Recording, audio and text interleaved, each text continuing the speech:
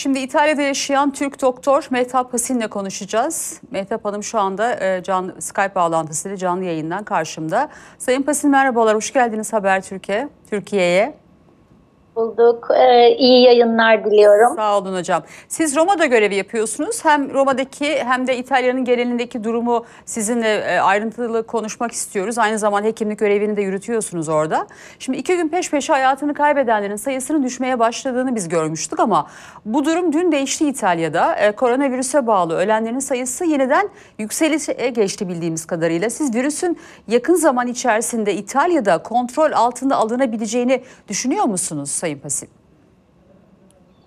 Ee, şimdi e, ben e, daha önce de söylemiştim çeşitli vesilelerle e, sayıları takip etmekten biraz uzaklaş, uzaklaştım ben. Çünkü günlük sayıları değerlendirmek bize çok iyi bir fikir vermiyor. Çünkü hı hı. o gün ağırlaşan hastaların yaş ortalamalarına bakmak, hı hı e, hastalığı ne zaman aldıklarına, ne kadar sürede ağırlaştıklarına bakmak çok ayrıntıyla incelemek gerekiyor.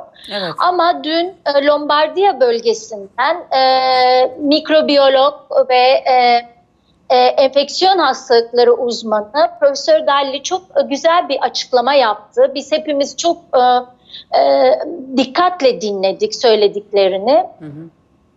Şimdi bu e, üç, üçüncü günümüz yeni e, vaka sayısında bir azalma var. Bu en azından e, şu ana kadar yani bugünlerde uygulanan sıkı denetimin işe yaramaya başladığını bize gösterebilir. Çünkü aslında bizim gördüğümüz bu sonuçlar yaklaşık Ocak ayının sonunda başlayıp Şubat ayının sonunda fark edilip hasta olduğu halde az belirtisi olan kişilerin etrafına yaymaları nedeniyle o dönemde yeni e, yeni hastalanan bireylerin şu andaki durumları. Anladım. Hocam ben aslında şunu şunu sormak istemiştim Buyurun. size. Belki de yanlış mı sordum bilmiyorum. Şimdi e, İtalya sokağa çıkma yasağı ilan etti. 31 Temmuz'a kadar da bunu uzatmayı düşünüyor. Bununla ilgili bir tasarı da var. Ben sayılardan ve vakalardan daha ziyade e, bunun e, kontrol altına alınma ihtimalini siz bir hekim olarak e, güçlü evet. görüyor musunuz? Yani evet. ne zaman yapacak bunu İtalya? Şimdi e, yani hastalığın artışının kontrolünü söylüyorsunuz tabii değil ki, mi? Tabii ki evet. Hayır e, yani e, şimdi en son beklenti şöyle söyleyeyim. Bu artışın 29 Mart'a kadar süreceği ve 29 Mart'tan sonra bir düşüş görüleceği yönünde. Hı hı. Bu bugünkü e, saat 18'deki bülteni de onun için çok büyük bir merakla bekliyoruz. Çünkü bugün üçüncü gün olacak. Yani eğer bir azalma görüyorsak ölüm sayısında e, ayın 29'una kadar artış olsa bile hastalığın en azından kontrol altına alınmaya başladığının bir göstergesi olacak bizim için. Anladım. Ve bu nedenle şu anda İtalya bütün kontrolleri çok ağırlaştırdı. Yani eğer hastalığınız saptanmış, size hı hı. evde oturma için e, uyarı yapılmış ve siz dışarıda dolaşıyorsanız bunun karşılığı olarak 5 yıla kadar hapis e, cezasıyla yargılanacaksınız. Tabii sizin riske soktuğunuz insan hayatlarının karşılığı 5 yıl falan olamaz ama Doğru. en azından korkutucu bir ceza olduğunu düşünüyorum. Eğer amaçsız bir şekilde hasta olmadan dışarıda dolaşıyorsanız bunun da cezası yaklaşık 3000 euro. Artık o, o çok zaman... büyük bir sosyal kontrol de var zaten. Evet hem de onu biraz daha açmak adına araya girdim. Şimdi İtalya'nın yaptığı yanlışlar hep başında konuşmuştuk ya.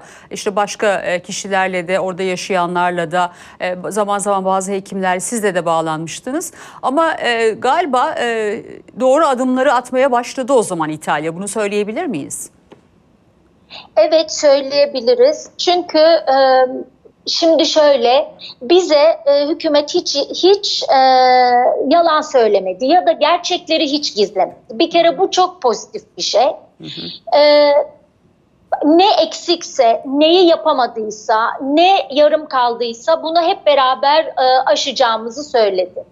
Benim e, doktor olarak en çok e, beğendiğim şey ve en çok destek verdiğim e, İtalya'nın e, aldığı önlemler içinde hemen acil servislere gelen hastaları ayırdı ve ayıkladı öyle söyleyeyim. Hı hı. Bu e, Covid şüphesiyle e, ya da e, Covid-19 hastası olma ihtimali olan bireyleri hemen ayrı çadırlarda, e, ayrı kapılardan sokarak e, ayrı hastanelerde yani sadece bu işe ayrılmış hastan hastanelerde e, tedavi altına alarak en azından kendi personelini de korudu. Çünkü Hı.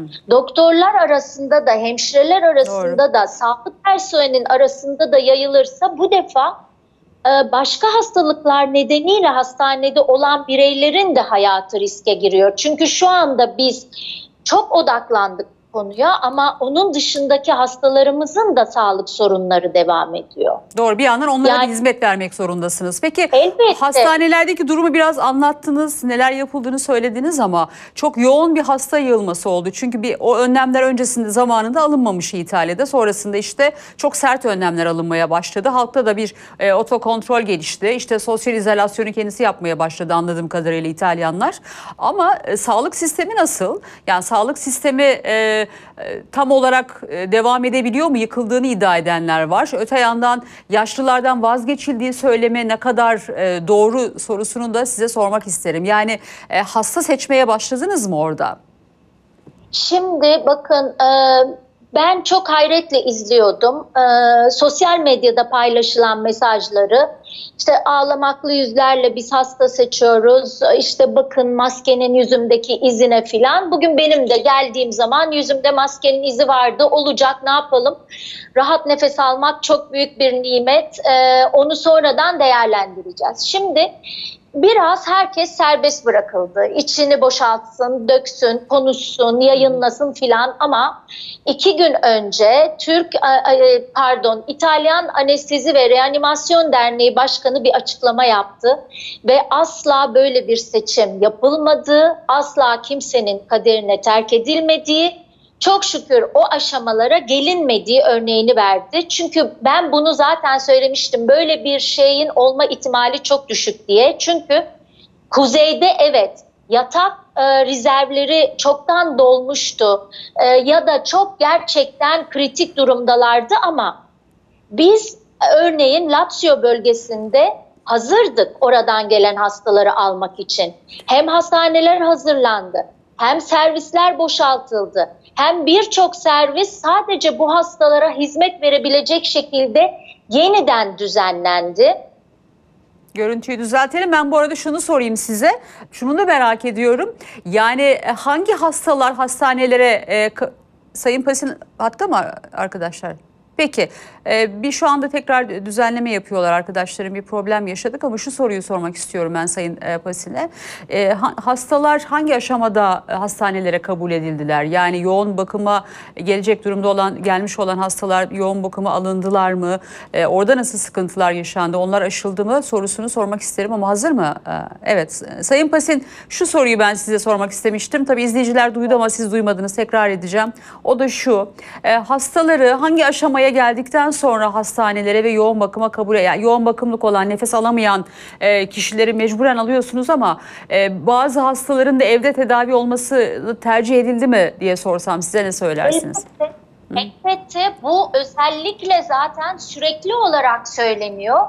Önemli olan e, kişinin ne zaman e, hastaneye gideceğini e, gideceğini bilmesi. Yani her ateş, her boğaz ağrısı, her öksürük, her eklem ağrısı e, şey değil, e, hastaneye gitmesi gerekmiyor. Tam tersi evde olması, izole olması, aynı evin içerisinde yaşayan bireylerden bile izole olması gerekiyor ve devletin doktorları evde gidip hastaların ziyaretini yapıyorlar. Gereken semptomatik yani e, gereken bütün tedaviyi veriyorlar. Ama evde yatan Ne hastaya zaman- hocam evde izole olan ve evde tedavisi devam eden e, hastaya hekim gidip orada tedavisine devam ediyor. Doğru değil mi? Yani bir hekim gidiyor sonuçta hastanın yanına. Peki.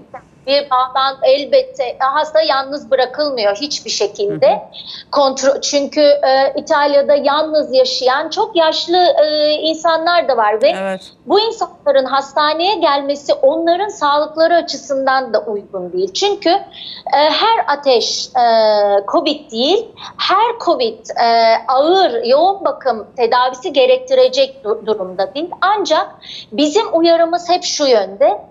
Nefes alma sıkıntısı başladığı anda gelin. O kaçıncı Şimdi- günde başlıyor genellikle peki nefes alma problemi? Ya Genellikle kişide şu ana kadar evet. şu ana kadarki e, gözlemlerimiz ağırlaşma durumunun dördüncü, beşinci günde olduğunu gösteriyor. Yani hastalık aslında işte e, daha uzun sü- süren bir hastalık. İyileşmesi de daha uzun sürüyor ama ağırlaşacak hastalar erken belli ediyorlar kendilerini. Peki hocam e, kişi eğer bu yenenlerle ilgili yani bu koronavirüsü yenenlerle ilgili e, bazı e, bilgiler de eminim paylaşıyorsunuzdur. Çünkü siz hekimler de bazı yayın e, organlarında bunu paylaşıyorsunuz. Çin de elinde baktığı hastalarla ilgili verileri hangi tedavi yaptığını diğer ülkelere örnek olsun diye paylaşıyor. Şunu merak ediyorum kişi eğer bir kez koronavirüse yakalandı diyelim tekrar bu virüse yakalanma olasılığı nasıl? Bu tür vakalarla da karşı karşıya kalıyor musunuz? Şimdi ben yine dün e, Lombardiya bölgesinden yapılan açıklamayı söyleyeceğim. Çünkü benim alanım mikrobiyoloji Biliyorum. değil ama Biliyorum hocam. %95, %95 oranında bağışıklık bıraktığı e, gösterildi. Şu andaki veriler içerisinde yani bir kez yakalanan bir kişinin ikinci bir kez yakalanma olasılığı çok düşük. E, ikinci bir kez yakalanmış gibi görülen bireylerin de tam olarak iyileşmedikleri ve bu nedenle hastalığı tekrar aktifleşmesi olarak değerlendiriliyor. Zaten bunun için bu hastaların serumlarının e, hastalığı başka kişilerin hastalanmasını önlemekte kullanılması söz konusu ama İtalyanların, e, İtalyan bilim adamlarının bu konudaki eğilimi hasta serumlarını kullanmaktansa bunun e, şimdi tıbbi bir terim söyleyeceğim ama bunun sentetiğinin yapılmasının daha doğru olacağı yönünde. Plazma Yani plazma tedavisinden bahsediyorsunuz anladığım kadarıyla değil mi? Plazma tedavisi. Evet. E, İtalya'da Evet. kullanılıyor mu peki bu ve onun e, sentetiğinin üretimiyle ilgili süreç nedir? E, ve e, bir başarı ya da nasıl sonuç alınıyor hocam? Şimdi e, Çin'den e, ilk gelen kafile, doktor kafilesi de gelmişti biliyorsunuz. Hı hı. Onlar yanlarında bu serumu getirdiler, bu serumları da getirdiler ama bize bugüne kadar e, hangi hastanelerde ve hangi e, ağırlık durumundaki kişilere uygulandığına dair henüz bir açıklama yapılmadı. Evet. E, monoklonal antikor e, üretimi, e, bunun sentetik olarak üretimi ise e, tabii bunlar e, süreç. Yani e, bugünden yarına hazır olacak şeyler değil. Onun Doğru. için be- benim en çok üzerinde durduğum şey ha- hastalığın tedavisi bir şekilde bulunacak. Öyle ya da böyle hastanede veya evde bir- birçok şey denenecek ama bizim şu anda asıl yapmamız gereken şey, asıl üstümüze düşen şey bu hastalık insandan insana e, kontakla geçiyor ya Evet. biz bunu engellemeye çalışacağız. Yani evimizde oturacağız. Sizler dışarı çıkmak zorundasınız. Bizler dışarı çıkmak zorundayız. Zaten dışarı çıkmak zorunda olan bir kesim var. Onun onların e, dışındaki bireylerin gerekmedikçe asla ve asla çıkmamaları, gereken sosyal mesafeyi bırakmaları, sizlerin ya da bizlerin e, toplantılarda e, işte e, misafir e, sizin stüdyoda misafirleriniz geldiği zaman filan mutlaka çok aralıklı oturmaları hatta artık stüdyo konuğu almadan program yapılması gibi şeyler geliyor benim aklıma. Çünkü biz de artık hastanede ya karşılaştığımız zaman sırtımızı dönüp geçiyoruz birbirimize. Yani artık çok iyi anladık. önemli olan hastalığı almamak, nasıl tedavi edileceğini konuşmak değil bence. Doğru. Peki ama e, İran'dan işte şöyle haberler de geliyor. Bir ikinci dalgadan söz ediliyor. E, bu ikinci dal e, mesela Çin tam zaferini ilan edemedi ama dışarıdan gelen e, işte bazı dış kaynaklı işte baş, bazı küçük bir iki tane vakalar görüldüğünden de bahsetmişti. Bu ikinci dalga meselesi nedir? Yani e, bununla ilgili ne düşünüyorsunuz? E, mümkün olası görüyor musunuz ülkeler için? Örneğin İtalya için ya da başka ülkeler için? Ee, aslında şu e, önemli olan şey şu. Yani toplumun yüzde doksanı bu hastalığı geçirecek. Belki geçirdik farkına bile varmadık. Evet. bir hafif bir kırgınlık oldu bir baş ağrısı oldu filan. Sonra hepimizde bağışıklık bırakacak. Önemli olan e, herkesin aynı anda hastalanmaması çünkü öyle olduğu zaman işte sistem çöküyor. O zaman e, e, maske yetmiyor, eldiven yetmiyor, kolonya kalmıyor, e, süpermarkete e, kuyruk yapıyorsunuz, kuyrukta bekliyorsunuz, hiçbir şey bulamıyorsunuz filan. Yani alabiliriz. Bu hastalıktan herkes ölecek diye bir şey yok.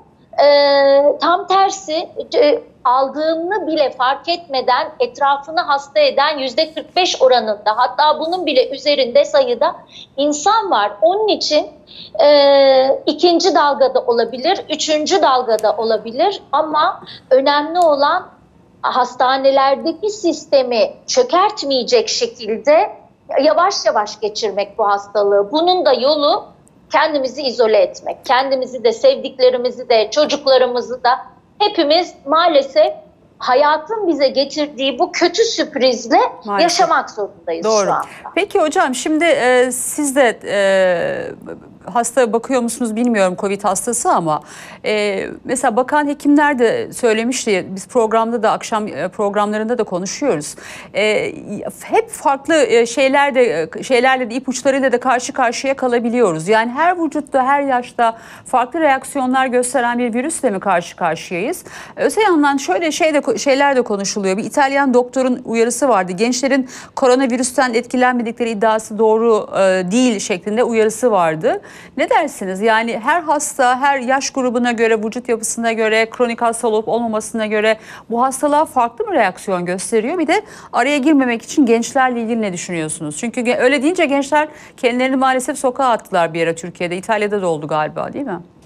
Evet. Ee, şimdi benim oğlum günlerdir evde kapalı e, ve nihayet anladı. Yani onun dışarıya çıkması belki bizim için çok iyi olmayabilir ya da işte arkadaşlarının eğer anneanneleri, dedeleri, babaanneleri evlerindeyse onlara hastalık götürülebilir. Çünkü gençler virüsü almıyorlar ve hastalanmıyorlar diye bir şey yok ama çok şükür onlarda ölüm oranı çok düşük hatta hiç yok denecek kadar az. Bakın bebeklerde bile yani şu anda açıklanan sayı 300. Yani e, e, küçük yaştaki çocuklarda da görülüyor.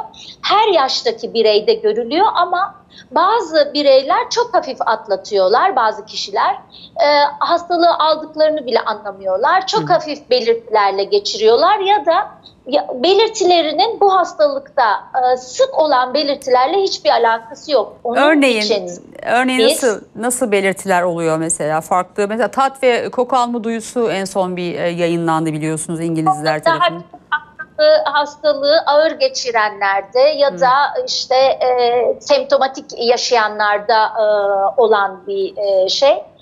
Ama e, diyelim ki e, diz ağrısıyla alanlar var. Hmm. E, hiç e, yani bunu hani e, siz e, böyle bir enfeksiyon geçirdiğinize yormayabilirsiniz. Burun akıntısı olmadan, boğaz ağrısı olmadan ateş biliyorsunuz titremeyle e, yükselmeyen yani gripal enfeksiyonlara benzemeyen bir ateş hikayesi oluyor bu hastaların. Hiç öyle bir ateş göstermeden bile hastalananlar var. Yani bizim için yanımızdaki herkes bir hastalık potansiyeli olabilir. Bir hasta olabilir. Onun için biz hiç kimseye yaklaşmayacağız. Ne kadar yapabiliyorsak.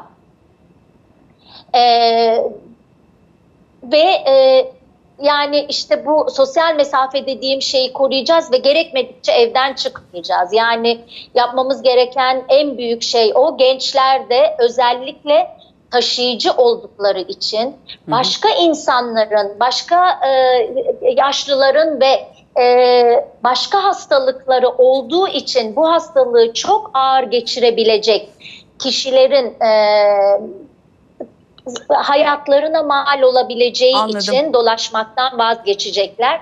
Ben bir şey daha söylemek istiyorum. ki, Eğer benim- sizin vaktinizi çok almıyorsa. Yo, benim iki sorum Hani daha var ama alayım onu hemen sizden tabii ki seve seve. İtalya'nın iyi yaptığı şeylerden bahsetmiştik ya. Evet. Bunlardan bir tanesi toplumun e, ünlü ve sevilen kişileri çok yol gösterici oldular. Her yaş grubu için hepsi en çok e, evde oturun mesajını verdiler. Yani hiç kimse dışarıya çıkıp koşarken işte ben de güzel güneş alıyorum. Maalesef ne var bizde canım? oldu. dedi. Maalesef bizde oldu. Ee, Türkiye'de oldu hocam. e, Yani Ya e, bunu çok e, çok e, gerçekten çok e, önemli buluyorum. Hepsi çıktılar televizyonda şarkı söyleyerek, e, bir şiir okuyarak hangi yaş grubuna hitap ediyorlarsa onun dikkatini çekecek şekilde söylediler.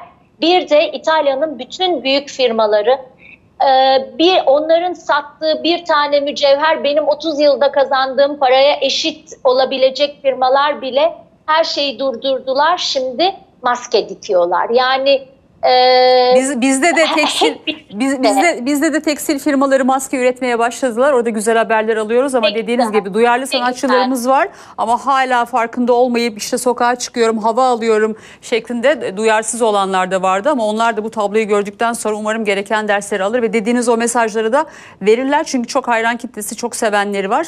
Ee, onların söyleyecekleri çok kıy- kıymetli. Şunu da merak ediyorum e, hocam ben izninizle. Test meselesi e, çok önemli. E, Yeterli oranda test yapılıyor mu İtalya'da? O, anla- o anlamda sıkıntı yaşıyor musunuz? Şimdi e, Dünya Sağlık Örgütü birkaç kere İtalya'ya böyle bir tavsiyede bulundu. Bütün toplumda bir e, tarama yapmasını istedi. Tamam. E, çünkü bu zaten istatistiksel sonuçların değerlendirilmesi açısından da daha önemli. Çünkü biliyorsunuz aynı parametreleri kullanmazsanız verdiğiniz sonuçlar da yanıltıcı olabiliyor. Fakat bugüne kadar e, bizde öyle bir tarama henüz başlamadı. Bunun nedenini de açıklamadılar. E, ama belirtileri olan e, kişilere hemen test yapılıyor ve 6 saat içerisinde de sonuç alınıyor. E, biz ay sonunda elimize gelecek yeni bir testin beklentisi içindeyiz ama yani biz işte test beklerken e, tedavi beklerken yapacağımız en doğru şey tekrar söylüyorum hastalığı almamaya çalışmak. Hocam Türkiye'yi son olarak onu sorayım. Türkiye'de tabii herkes şu anda e, kendi sosyal izolasyonunu bir şekilde sağlamaya çalışıyor. E, Hatta kendi o halini kendisi uygulasın şeklinde e, devlet yetkililerinin uyarısı var. Bu yeterli olur mu yoksa sokağa çıkma yasağını devletin alması gerekir mi? Bir hekim gözüyle nasıl meseleye yaklaşıyorsunuz? Oradaki tecrübelerinizden yola çıkarak soruyorum tabii ki. Bu da aynı Ben- zamanda siyasi de bir karar tabii. Başka bir, bir sürü dinamikleri var ama ama şimdi e, sağlık her şeyin önüne geçti. Çok zor bir karar. Ee, yani ben bu, bu dönemde hakikaten e, iyi ki hiçbir konuda yönetici değilim diyorum hep. Doğru. Ee, şimdi İtalya'da ne oldu? Ee, İtalya'da da önce tavsiyeyle başladı. Çok yani buna çok uygun şu bizim atasözümüz var ya hani e, nus ile uslanmayanı etmeli tektir, tek, tektirle uslanmayanın hakkı kötektir. Kötektir, Yani evet. e, tavsiyeyle e, e, şey e, uslanmayanı azarlayın, azarlanmıyorsa dövün diye. Tabii biz şimdi uygar toplumlarda insanları dövmek öyle bir şey asla söylemiyorum. Tabii ki. Ama e, uygar toplumlarda dövmenin yolu yasadır. Yani siz yasayla, e, yasal olarak vereceğiniz cezayla e, yaparsınız bunu. E, biz de anladığımız kadar anladık. E, anlamadığımız yerde de işte e, çok ağırlaştırılmış cezalar geldi. Hatta gençlerin ileride iş bulmalarını bile engelleyebilecek kadar e, ki, ki- bir kayıtlarına girecek, işlenecek bir takım cezalar geldi. Onun için biz şimdi hepimiz uslu uslu oturuyoruz. Umarım Türkiye'de de şimdi öyle bir şey ki yani siz çalışıyorsunuz, e, evinize para götürmek zorundasınız. E, nasıl anlatacaksınız iş yeri işvereninize sizin evde kalmanız gerektiğini ya da nasıl eve ekmek götüreceksiniz? Gündelik olarak paranızı kazanıyorsanız. Onun için bunlar çok zor kararlar ama ne kadar korunabiliyorsak ne kadar uzak durabiliyorsak çok geç olmadan hastalık kontrol edilemez sayılara ulaşmadan bizim her türlü tedbiri alabildiğimiz ölçüde almamız gerekiyor. Yani çok siz teşekkürler. şimdi e, ben size teşekkür ediyorum. İyi çalışmalar ve kendinize çok dikkat edin. Siz de kendinize çok dikkat edin. Tecrübelerinizden e, ben en azından yararlandım. Yetkililer de kulak misafiri olmuşlardır tahmin ediyorum. İtalya'da yaşayan Türk doktor Mehtap Pasin'le konuştuk. Sıradaki haberle devam edelim.